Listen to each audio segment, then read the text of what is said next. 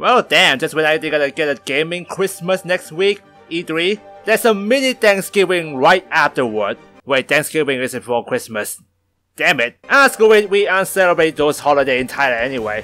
So yeah, we got the next Dissidia Arcade and NT broadcast this Tuesday, which coincidentally is about 16 hours after Square Enix E3 press conference. But hey, maybe it's not coincidence, maybe they have something that connects to both broadcasts, huh? But you know, don't get your hopes up, we do that every E3 and it's never worked out. And consider how it connected between Japanese and US division of Square in terms of Dissidia at least. And how Square conference only lasts one hour, I'm not sure if they will even have enough time for other small game like this. But hey, Square only have one hour conference is actually a good thing since if they have more time than that, they're going to talk about sales and crap. But really, even just Kingdom Hearts 3 content is more than enough to fill one hour.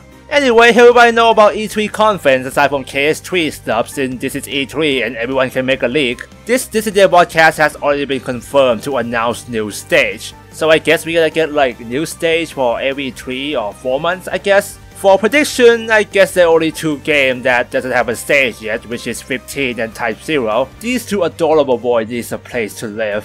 If you ask me, I would like either Insomnia City with as a transition or Academia which We Have Arrived as a transition. That would be freaking dope. But hey, I haven't finished Type 0 yet so maybe there's a better choice. But you know, this stage will probably come to NT next month anyway. Two months policy, yay. But these are the new stuff that is still far off from us. The thing that's already in the arcade will probably be announced the real release date for NT this time like Good Boy Locke Cole DLC and Warrior of Light rework chain, which did is not coming out yet, it's been almost 3 months now. While 2.0 and Noctis Chargeable still pedal with, I want them now man. Of course, with new character to NT, it will come with a story update, which I'm a bit curious on how they're going to do it. For Vayne, who is just a villain, they can just have some hero fight them, and that's one battle, easy as that. So what's gonna happen with a new hero then? They're not gonna let us play him without DLC, obviously. Are they gonna make an excuse to fight him or whatever? Eh, who knows.